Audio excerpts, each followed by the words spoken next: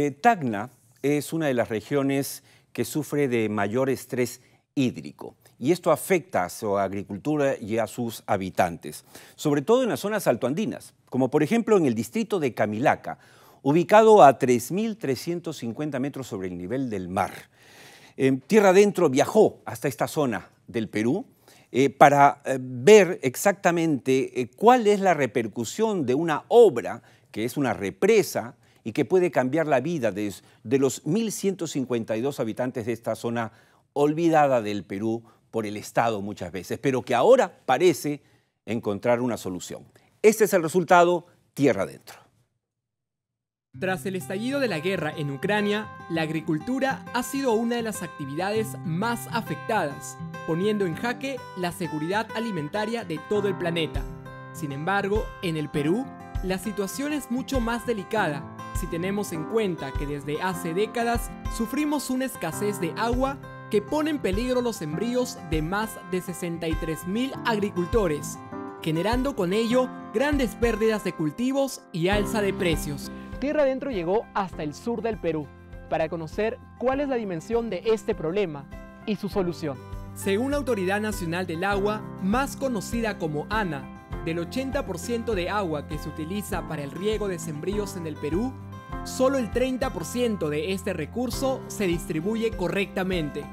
En ese escenario, la región de Tacna, que se ubica en la cabecera del desierto de Atacama, uno de los más áridos del planeta, enfrenta serios problemas de escasez hídrica. Sin embargo, existen proyectos de gran envergadura que buscan hacerle frente a este panorama hostil, como es el caso de la construcción de una gran represa en el distrito de Camilaca, una obra que le cambiará la vida a sus pobladores. Y hemos logrado lo que queríamos, una represa. No teníamos represa, sino teníamos mini reservorio, hemos hecho la población. Ahora sí ya tenemos represa. Con esa represa de ese agua, con ese sí podemos cultivar. Para nosotros una represa es un desarrollo productivo en nuestro distrito de Camilaca. La represa de Cularjahuirat, construida a 5 horas de la ciudad heroica de Tacna, permitirá almacenar hasta 2.5 millones de metros cúbicos de agua, para aprovecharla y distribuirla sobre 500 hectáreas de cultivos en épocas de estiaje, donde el agua escasea.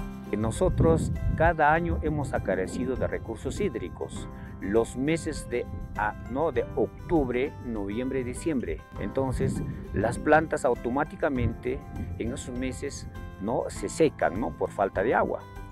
A razón eso, la represa de Cularjavira nos va a dar solución a esos meses. Nuestro objetivo es eh, dar la ampliación de la frontera agrícola.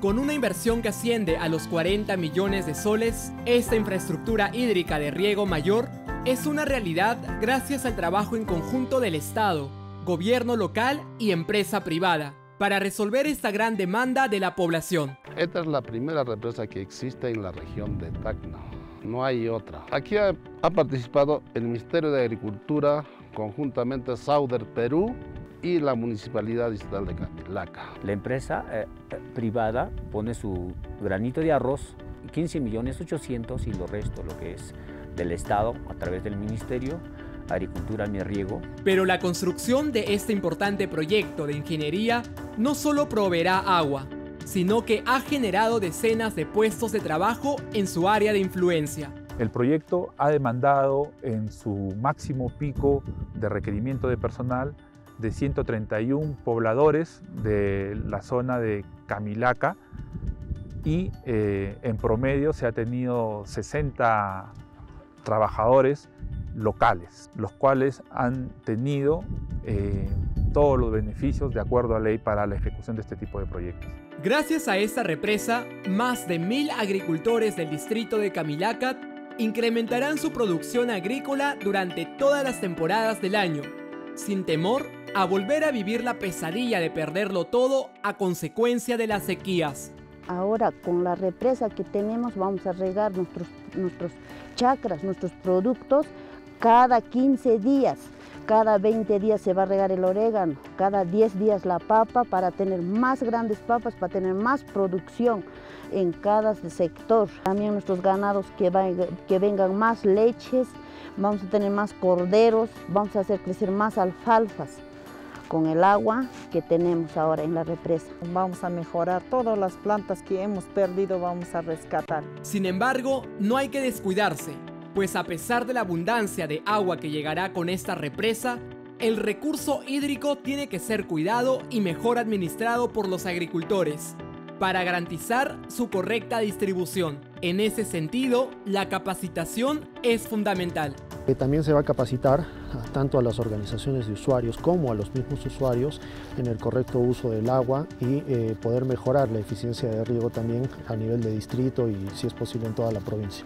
Actualmente, la represa de Kularkawirat se encuentra en un proceso de prueba de llenado al 90% de su altura total de 39 metros, iniciado el 2021 en medio de la pandemia del COVID-19. Estas pruebas han tenido que ver básicamente con pruebas de filtraciones y eh, estabilidad de la, de la estructura, quedando lista para el inicio de sus operaciones a fines del año 2022. Esta es otra historia con final feliz en la frontera sur de nuestro país, donde la escasez de agua es enfrentada con éxito gracias a la suma de esfuerzos de instituciones públicas, gobierno local y empresas mineras responsables que entienden que apoyar la agricultura es asegurar nuestra supervivencia y convivencia en armonía.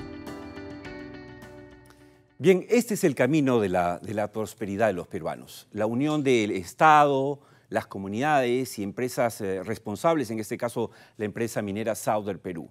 Eh, esta es la manera en que podemos ayudar a los más necesitados en nuestro país, donde las ideologías sobran.